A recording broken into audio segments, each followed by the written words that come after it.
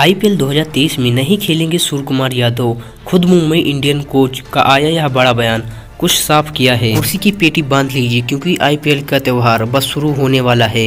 31 मार्च को महेंद्र सिंह धोनी की Chennai super Kings और हार्दिक पांड्या की गुजरात जायंट्स के बीच आईपीएल का पहला मैच होगा। तो गाइस आप भी सूर्य कुमार यादव के फ़ैन हैं तो वीडियो को लाइक करके चैनल पर नए हो चैनल को सब्सक्राइब कर दें।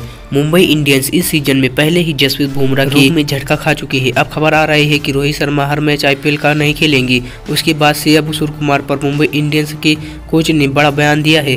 सूर्य कुमार पर उठे सवाल तो कोच ने दिया बड़ा बयान। आप किसी खिलाड़ी का फॉर्म का आकलन इस आधार पर नहीं कर सकते कि वह पहली गेंद कैसे खेल रहा है। मैंने उससे बातचीत की है। मैंने पूछा कि वह कैसा महसूस कर रहा है। उन्होंने कहा, कोच, मैं गेंद को अच्छी तरह से मार रहा हूँ, फिर मैंने कहा, ठीक है। और कोच ये भी कहा, अगर कोई खिलाड़ी पहली गेंद को खेलने में असफल रहे तो आप यह नहीं कह सकते कि वह खिलाड़ी फॉर्म में नहीं है।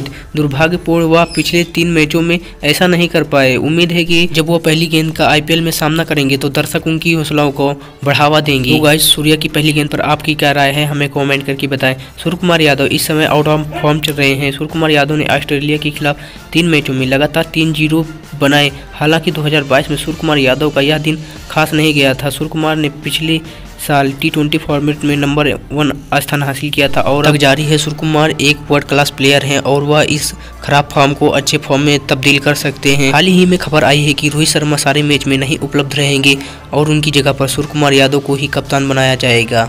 तो आपकी क्या राय है कमेंट करके बताएँ दोस्तों। वीडियो अच्छी लगी तो वीडियो को लाइक करके चैनल पर नए हो, चैनल को सब्सक्राइब कर दें। मिलते हैं नेक्स्ट वीडियो में। जय हिंद दोस्तों।